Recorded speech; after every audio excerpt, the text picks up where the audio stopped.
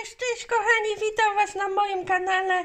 Przychodzę do was dzisiaj z polskimi kochanymi jabłuszkami. Tak jest, ponieważ chcę y, zapromować nasze polskie jabłuszka w Morrisonie. Y, to są nasze polskie jabłuszka, kochane, cudowne. Y, wczoraj je kupiłam w Morrisonie i przychodzę, aby je po prostu zareklamować. Wszyscy Polacy, którzy mieszkacie w, w, w Anglii, UK, e, e, pamiętajcie, że w Morrisonie są piękne polskie, polski piękny akcent, ponieważ e, jabłuszka e, polskie są doceniane naprawdę na całym świecie. Jeżeli podróżujecie e, troszeczkę po świecie, e, ja byłam ostatnio w Peru, więc e, nawet e, osoby w Peru mówiły, że mówiły, że jabłuszka polskie są cudowne, że nie ma takich jabłek, jabłek na świecie jak wy jak my Polacy mamy, y, jak my mamy w,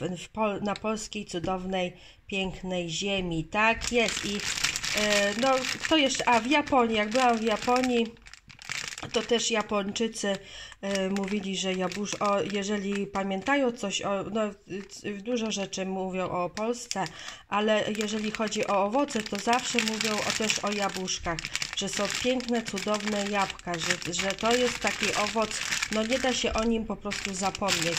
Więc to są jabłuszka z Morrisona. Ja przychodzę go Wam, y, y, Polacy, rodacy, przypomnieć, że jest piękny akcent polski, y, polskie jabłuszka w Morrisonie.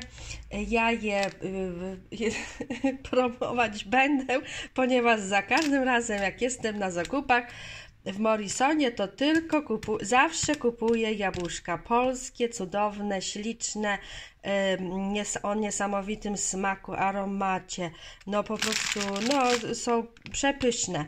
E, przepyszne jabłuszka, więc y, y, przychodzę z polskimi jabłuszkami i, y, i mam nadzieję, że y, już teraz wszyscy Polacy w Anglii zmierzać będą po jabłuszka do marketu. Więc życzę Wam cudowności, aby Wam się darzyło razem z tymi pięknymi jabłuszkami polskimi. Y, No to teraz już szarlotkę muszę zrobić. Pokażę Wam. Życzę, y, y, no, ślę do Was, aby Wam się wszystko darzyło i kładało według Waszych potrzeb już teraz.